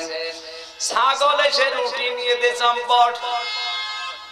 নবীজি এসে দেখলেন রুটি বানাচ্ছে, ঘুমিয়ে পড়েছে, রুটি ছাগল নিয়ে দৌড় দিয়েছে। বাংলাদেশের কোন স্বামী হলে বোম মেরিয়ে ফেলত। কথা বলে না কেন? এত কষ্ট করে আমি নিয়ে আসে তোমার ঘুমাও। মারতে মারতে বোম মেরিয়ে ফেলত। রহমত আলের কি কাজ শুনলেন না? কি রহমত বউ পিটিয়ে রহমতের ঠেলায় মেরে ফেলছে। যৌতুকে টাকা দেয়নি এই তার দোষ। তোর বলো সোমান আল্লাহ সোমান আল্লাহ বলছে।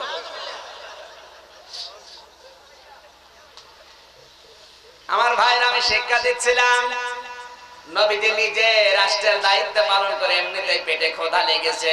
কিচ্ছু বললেন না আয়সাকে ঘুম থেকে জাগালেন না, নিজের হাতে রুটিগুলো আবার তৈরি করলেন। নিজে আটা খামির করে রুটিগুলো আগুন দিয়ে সেকলেন গোস্ত ভনা করলেন। আমাদের মতো মানুষ হলে আগে পেট করে খেয়ে নিতাম। নবীজি আয়েশার মাথায় হাত দিলেন, হযরত আয়েশা উঠে দেখে সব কমপ্লিট যদিও তিনি বয়সে ছোট ছিলেন, কিন্তু বিচক্ষণ ছিলেন। চিন্তা করলেন, এটা তো আমি বানাইনি, আমার স্বামী বানিয়েছে। অন্য স্বামী হলে আজকে আমি মায়ের খেয়ে মরে যেতাম। লজ্জা পেয়ে গেলেন। নবীজি বুকটাকে, মাথাটাকে বুকের ভেতরে নিয়ে ডাক বলে আয়সা লজ্জা পেও না, দুঃখ করো না। আমি তো তোমার স্বামী, তোমাকে সাহায্য আমি না করলে করবে কে? আর আমার মনে হয় বাংলাদেশে এরকম স্বামী এখন ভরি ভরি। এরকম স্বামী আছেন কয়জন? হাত তোলেন তো। একজন হাত তুলেছে।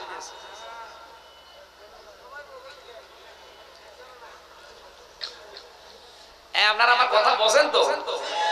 না না বুঝে আন্দাজে।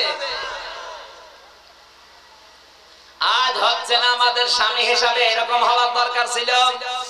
এখানে একটা মানুষ আমি দেখতে চাই। জীবনে কোনোদিন স্ত্রীর গায়ে হাত তোলেননি। একজন দুইজন। পেছনে হলো বিয়ে করে হাত তুলেছে না তুলে? না বিয়ে করে হাত তুলেছে। তাও তো দুইজন আছে। হাজার মানুষের ভেতরে এই যে দাড়িওয়ালা মানুষ হাত তুলতে পারল না। আমিও পারি না এই কারণ যদি না মেরে থাকা যায় না। আমি না যুবক মানুষ এই মুরব্বী কি করিস?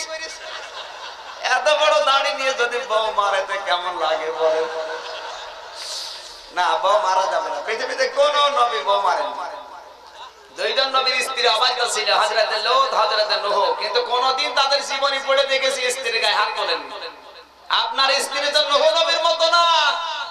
লোক নবীর স্ত্রীর মতো অবাধ্য না। আপনি মারেন কোন নেশায়? শুধু রাখি বন্ধন দেখে আর আদরণী দেখে। না, এলাকায় এসব নেই। এখন তেরোটা সিরিয়াল চলছে ভারতের মাগরিব থেকে শুরু করে রাত এগারোটা পর্যন্ত। রাখি বন্ধন সব চাইতে বেশি প্রিয় মেয়েদের। এরপরে দুই নম্বরে আদরিনী এরপরে প্রতিদান, এরপরে তুমি আসবে বলে তোমায় আমায় মিলে চোখের তারা তুই। এখন সব চাইতে বেশি আকর্ষণ করছে ভজ গোবিন্দ। কি আকর্ষণ সারাদিন বসে বসে দেখে। সিরিয়ালগুলো দেখে আর নিজের সাথে মিলায়। স্বামী আসলে বলে, আমার ব্লাউজ হবে ডানা কাটা পৌরি, বজ্রমালার মতো। এমন কায়দায় শাড়ি পরেছে, শাড়ি না কট কইটি জয় মা কট কইটি জয়। মুসলমানের জন্য না, ভারত আমাদের সংসারটা জাহান্নাম বানানোর জন্য সিরিয়ালগুলো দিয়েছে। তবা করেন, সিরিয়াল জীবনে আর দেখব না, কারা কারা বলেন দেখি আপনারা না, ওদের বলছি আপনারা দেখেন না, আমিও জানি। ওই মেয়েরা আসেনি? ওই মেয়েদেরকে বলে ক্যামেরা কই? ওইদিকে মারো। কারণ ওরাই তো সংসার আর জাহান্নাম বানিয়ে ফেলেছে। স্বামী যদি এসে বলে যে রিমোটটা একটু দাও দেশের অবস্থা ভালো না। অনেক বউ আছে বলে তোমার মাথা খারাপ এখন শুরু হবে টাপুর টুপুর। এইটা নিয়ে ব্যস্ত আছে। হচ্ছে হচ্ছে না। সম্মানিত মা বোনেরা ভারতের সিরিয়াল থেকে হারাম। এর একটা সিরিয়ালে কোনো শিক্ষা নেই। হ্যাঁ শিক্ষা আছে পরকিয়া প্রেম কি করে করা লাগে? স্বামীর মনে কি করে দুঃখ দেওয়া লাগে? বউ শাশুড়ির সংসার কি করে ভাঙা লাগে? কথা বলেন। এই সমস্ত শিক্ষা দেখা যায়, এগুলো দেখা যায় কোন আর এগুলো দেখে দেখে আমাদের সাথে মিলায়। এদের আজ পোশাক আশাক দেখলে শয়তান পর্যন্ত পাচ্ছে। পোশাকের নাম দিয়েছে পাগলু টু। দোকানে যে বলে ভাই প্যান্ট নেব, কি প্যান্ট? পাগলু টু। দোকানদার চিন্তা করছে, কি প্যান্ট? এই বাংলাদেশে বোরকা বানিয়ে দেয়নি, এজন্য আত্মহত্যা করেছে। এরকম রেকর্ড আমি আজও শুনিনি। কিন্তু পাকি জামা বানিয়ে দেয় এজন্য হার পিক খেয়ে মরে গেছে। তিনটা রেকর্ড পেয়েছে ওই রংপুরে স্বামীকে বলেছে পাখি জামা চাই বলে আমার টাকা নেই, পারব না। অভিমান করে পায়খানার হার পিক খেয়ে মরে গেছে। আমার মনে হয় মরে গেছে, সরাসরি জান্নাত। যার মহাব্বতে মরে গেলে ও যদি জাহান নামে যায় আলমার ও মা মানা হাব্বা ও সবে জাহান নামে কথা বলেন ঠিক কিনা? যার মহাব্বতে মরেছে, ওর নাম কি? পাকি। নাম কি? পাকি হিন্দুরা মুসলমান? পাখি যদি জাহান নামে যায়, যে তিনজন হার পিখে মরে গেল, বউ যাবে। এত সুন্দর চরিত্র বিশ্ব নবীকে আল্লাহ দিয়েছিল। স্ত্রীর সাথে ব্যবহার তিনি করেছিলেন। আমাদের স্বামী এখানে যারা বসে আছে, আমাদের উচিত হচ্ছে আদর্শটা গ্রহণ করা। কথা বলেন ঠিক কিনা? এরকম একটা একটা করে প্রায় সাতাশটা পয়েন্ট আছে আয়াতেও। কিন্তু বারোটা পার হয়ে গেছে অনেকক্ষণ আগে। আমাকে বলেছিল, বারোটায় শেষ করে দেব। শেষ করে দিই? এখন সে আয়াত পড়া বাকি আছে, শ্রাবণ ইসরায়েলের বিরাশি নাম্বার আয়াত। আর এক একটা আয়াতে কোটি কোটি কথা লুকিয়ে আছে। যে যত বেশি গবেষণা করবে, কোরআন থেকে তত তথ্য কোরআন দিতে পারবে। এরকম যোগ্যতা কোরআনের আছে না নেই? সব তথ্যের মূল এইটা। অথচ কোরআন নিয়ে গবেষণা হয় না। গবেষণা হয় লালন সার জীবনী নিয়ে। কি হয়েছে তোমাদের? কোরআন শরীফ নিয়ে কেন চিন্তা করো না? এটা নিয়ে চিন্তা করো, কপাল খুলে যাবে। সুবহানাল্লাহ বলতে পারেন নাই?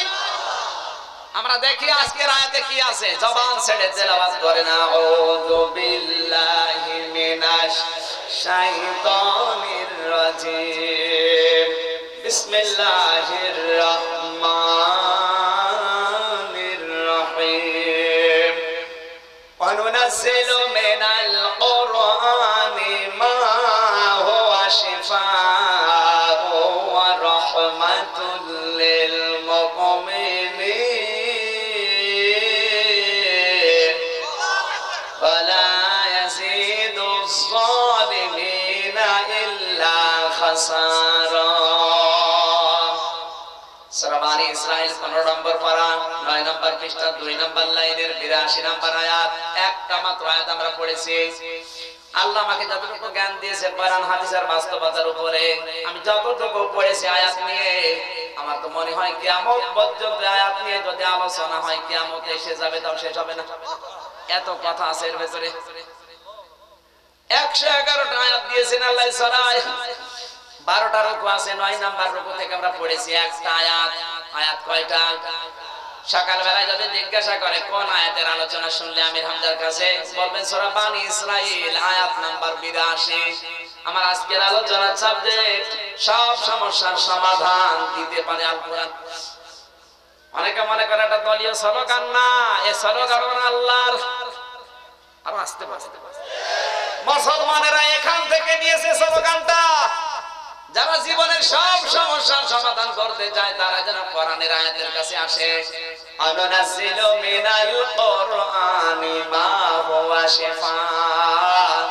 আল্লাহ তালা বলেন এই আয়াত নাযিল করেছি অনুনাসিল বাবে তাফঈল থেকে এসেছে।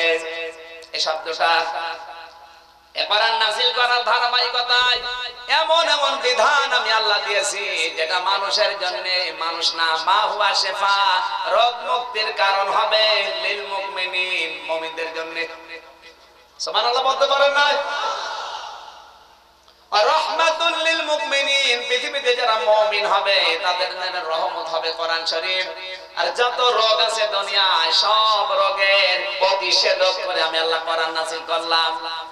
এখন যে যার রোগ হবে, ওই রোগ হলে শুধু কোরআন শরীফ ধুয়ে খাওয়াবেন। কোরআনে কারিম আল্লাহ পাঁচশো আয়াত দিয়েছেন শরীয়তের বিধান। এগুলো যখন কার্যকারী হবে, দেশের যত রোগ আছে, সমাজের রোগগুলো আমার আল্লাহ আয়াত কার্যকারী করার দ্বারা ভালো বানিয়ে দেবেন। সাতচল্লিশ বছর আগে আমরা স্বাধীন হয়েছি এই দেশটা। কত বছর? চুরি বন্ধ হয়েছে। আরও জোরে। মদিনায় আমি মক্কা, মদিনায় পঁয়তাল্লিশ দিন ছিলাম। কয় চুরি হয়েছে, ডাকাতি হয়েছে, আমার এই জিনিস ডাকাতি হয়ে গেছে, আমি শুনিনি। আমি নিজে তো দেখেনি শুনিও নি। অথচ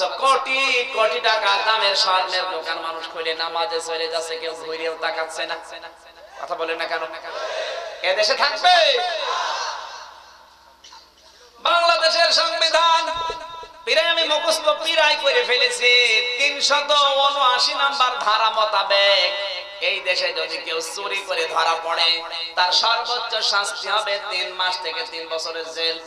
সংবিধান যদি কেউ জানে, জিজ্ঞাসা করেন, কোন শাখা, কোন অপরাধের কোন শাস্তি হবে? আমি তিনশো আশিটা পর্যন্ত হয়েছে আমার। তিনশো উনআশি নাম্বার ধারা, এটা চুরির ধারা। কেউ যদি চুরি করে ধরা পড়ে, তার সর্বোচ্চ শাস্তি তিন মাস থেকে আরো জোরে সাতচল্লিশ বছর আগে যদি আমার আল্লাহ যেটা বানিয়েছিলেন সেটা মায়েদা ছয় নাম্বার পারা তেরো নাম্বার পৃষ্ঠা দুই নাম্বার লাইনে চার নাম্বার উপর আটত্রিশ নাম্বার আয়াত السارق والسارقة فاقطعوا أيديهما جزاء بما كسبا نكالا من الله আল্লাহর যদি সংবিধানে সাতচল্লিশ বছর আগে কায়েম করে দিত সংসদে, আমারও মনে হয় মক্কা, মদিনার মতো এই দেশে চুরি না।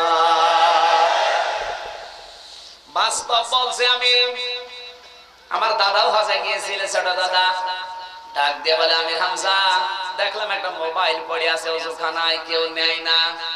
আমি চিন্তা করলাম, নেব না নেব না। মনের ভেতরে ভয়, যদি ধরা পড়ে যায় কি কেটে দেবে। দেশে আসলে মানুষ বলবে, হাজি সাহেব, চোর। এই ভয়ে নিচ্ছি না। কিন্তু কেউ নেয় না কেন? আশপাশে তাকিয়ে দেখি কেউ নেই, তুলে নিলাম। হারানো জিনিস যেখানে জমা যায়, জায়গায় জমা দিলাম। ডাক দিয়ে বললাম, ভাই মোবাইলের দাম কেমন হবে? উনি আমারে বলে, ইয়া হাজি ওর হজ্জাত আয়না বিলা দোকান। ও হাজি, দেশ কোথায়? দাদা বলছে, জি, তুমি বাংলাদেশ, আমি বাংলাদেশ থেকে এসেছি। উনি ওনার ভাষা দিয়ে বলে, হাসি, এই মোবাইলের দাম বাংলার টাকা অনুযায়ী বাহাত্তর হাজার টাকা। কত?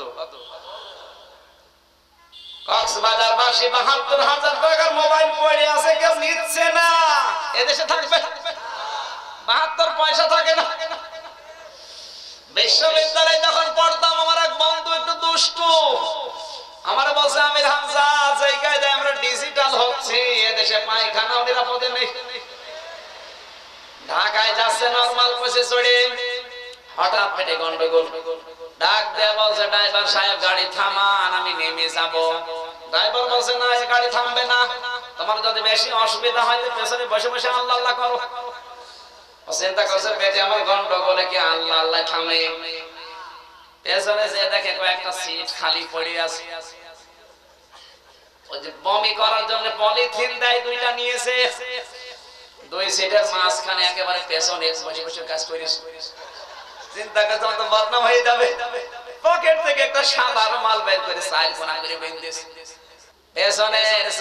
দিয়ে ফেলে দেবে। আল্লাহর ইশারা পেছনে আসছিল মোটরসাইকেল ওলা পড়বে কি পড়বে মোটরসাইকেল ওলার সামনে?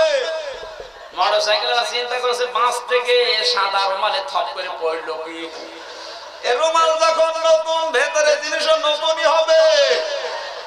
ভেতরে জিনিস কি নতুন? বলো।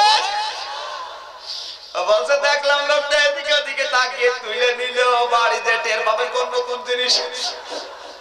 এই জন্য বলছে তাই ডিজিটাল হচ্ছে, পায়খানা নিরাপদে নেই, তার বাস্তব প্রমাণ আমারটা। কোরআনে কারিমে এরকম 500 আয়াত রোগ মুক্ত করার জন্য আল্লাহ দিয়েছে। আমি একটা বললাম, ডাকাতের আইন আছে সেনার আইন আছে, পর্দার আইন আছে, একটা একটা করে বলতে গেলে এরকম রাত লাগবে 500টা এত কথা লুকিয়ে রাখে। এক শয়তান আসে, কোরআনের কথা নেই ওর বাবার জীবনে তুলে ধরে। আমার বাবা এই করেছে, ওই করেছে।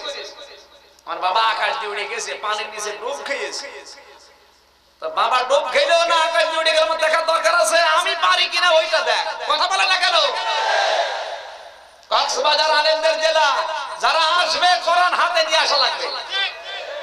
ভণ্ড এক একটা আসবে, পঞ্চাশ, ষাট, সত্তর হাজার টাকা নিয়ে চলে পাঁচ টাকা পাওয়ার যোগ্যতা রাখে না। কোরআনের সঠিক কথাগুলো আজ যদি বাংলার জমিনে তুলে ধরা যায়, আমার মনে হয় এখনও পরিবর্তন আসবে। আমি দেখেছি কত মানুষ পরিবর্তন হওয়ার চেষ্টায় আছে, শুধু আমরা বলতে পারি না তাই। কয়েকদিন আগেও দুইটা মুসলমান হয়েছে পাবনার ঈশ্বর দিতে। তাও মূর্খ মানুষ না, সব এমবিবিএস ডাক্তার। আদর্শের উপরে কথা বলেছিলেন ওই সময়। দুই ঘণ্টা আলোচনা শোনার পরে বলছে, হুজুর, বাপদাদার ধর্মে আমি আর নেই। আমি কোর্ট থেকে এফিডেভিট করে আপনার কাছে মুসলমান হয়ে যাব। মুসলমান হয়ে তারপরে বাড়ি যাব। আজ আমরা কথা বলতে পারি না। কেন আল্লাহ রোগ মুক্তির জন্য দিলেন? এখানে রোগ কে কে? আমি সবগুলো নোট করে নিয়েছিলাম আজকে আসলে চুয়াল্লিশ ধারা জারি হওয়ার কারণে আমি সব এলোমেলো করে ভালো লাগছে মুসলমানের দেশ, ছিয়ানব্বই ভাগ মুসলমান, আর কোরআনের প্যান্ডেলে আগুন লাগিয়ে দিল। কারা এরা? লোক দেখানো। এদের নামে গরু জবাই করে বেকার খাওয়ানো। কোনো দরকার নেই গ্যারান্টি দিয়ে যাচ্ছে যারা কোরআনের বিরুদ্ধে ওকে জাহান নামে আল্লাহ দেবে। মাস্ট বি যদি না দেয় কোরআন শরীফ মিথ্যা।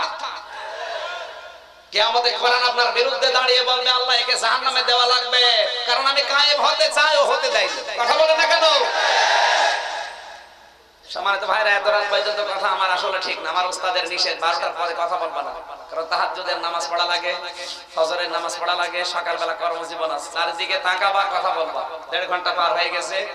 আমি বলেছিলাম, নয়টায় তুলে দিতে। এনারা উল্টো পাল্টা একটার পর একটা বক্তা তুলে যাচ্ছে, আমি বসেই আছি। এভাবে ঠিক না। বারোটার পরে কথা বলা ঠিক না। ফজরের নামাজের দিকে তাকিয়ে আজকের মতো শেষ করলাম। আমি অনেক টাকা ঘাটতি আছে। আপনারা তো বারোটা, পঁয়ত্রিশ বাজে তাহাজ্জুদের সময়। আমি কবুল হবে দোয়া ইনশাআল্লাহ। যারা উল্টা পাল্টা কাজে আছে, ওদের জন্য না। আমরা নিজেদের জন্য দোয়া করব। দোয়া না করে চলে যাবে আগামীতে যদি এলাকায় কোন জায়গায় নিয়ে আসেন, সর্বোচ্চ রাত নয়টায় আমাকে তোলা লাগবে। নয়টা থেকে এগারোটা, সাড়ে এগারোটায় মাহফিল শেষ। আমরা এত রাত করি না। খুলনা বিভাগে মাহফিল হয়, সর্বোচ্চ রাত নয়টা থেকে এগারোটায় মাহফিল করা শেষ। আর এই এলাকায় দেখছি এগারোটায় শুরু হচ্ছে।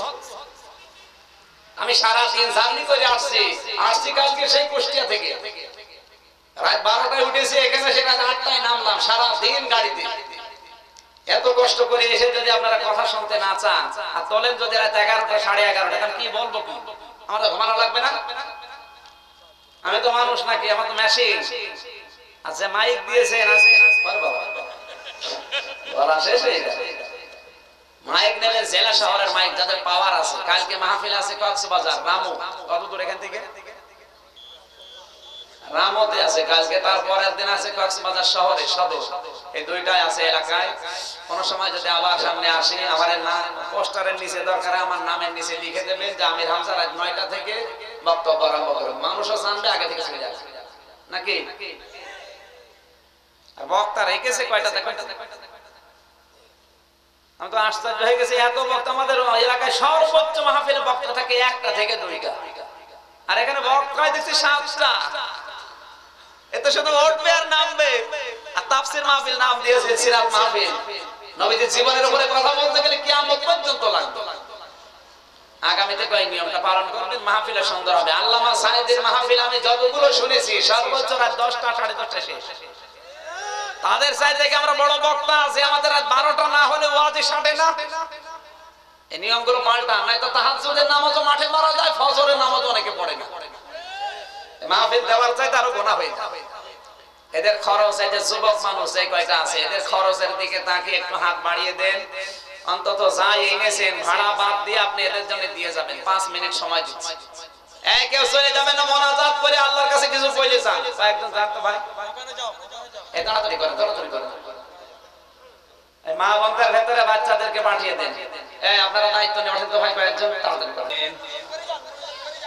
ربنا ظلمنا انفسنا وان لم تغفر لنا وترحمنا لنكونن من الخاسرين আল্লাহ তাআলা ইংরেজি সালের শেষ দিন আজকে বছরের শেষ দিন তাহাজ্জুদের নামাজ শুরু হয়ে গেছে আঠারো সালের প্রথম তারিখ আমরা পেয়ে গেছি আল্লাহ একটা বছর জীবন থেকে চলে গেল কিছুই করতে পারি নাই জীবনের অপরাধগুলো ক্ষমা করে দাও, ভালো ভালো কাজগুলো কবুল করে নাও। আগামী বছরগুলো আল্লাহ তোমার জন্য তৈরি করার সুযোগ দাও। যদি দিয়েই থাকো বিশ্ব দাও। দুনিয়ার মাঠের নিচে যারা ঘুমিয়ে গেল, আল্লাহ এদেরকে ক্ষমা করে দাও। মা বাপ যারা হারিয়ে ফেলেছে, আল্লাহ তুমি মা বাপকে মাফ করে দাও। আল্লাহ তাআলা সারাটা জীবন অপরাধ করেছি, মাফ চাওয়ার সময় পাইনি। বছরের শেষ দিনে আজকে তাহাজ্জুদের নামাজের সময় আমরা সময় পেয়েছি। আল্লাহ তুমি মাফ করে দাও।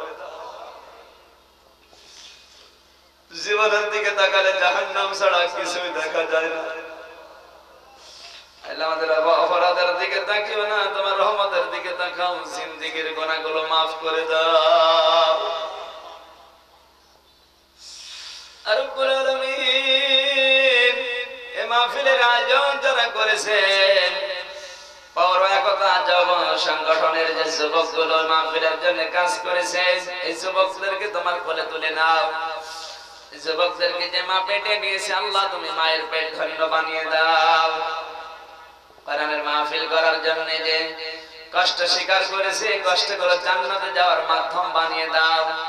যত প্রয়োজন আছে আল্লাহ তোমার নিজ গুণে তুমি এগুলো এদের প্রয়োজন মিটিয়ে দাও।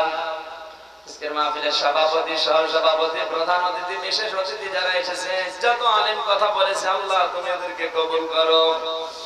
বিশেষ করে ভাই, এলাকায় আসলে যার মাধ্যমে আসে শিল্পী তোমার গোলামকে ইসলামের জন্য কবুল করে নাও।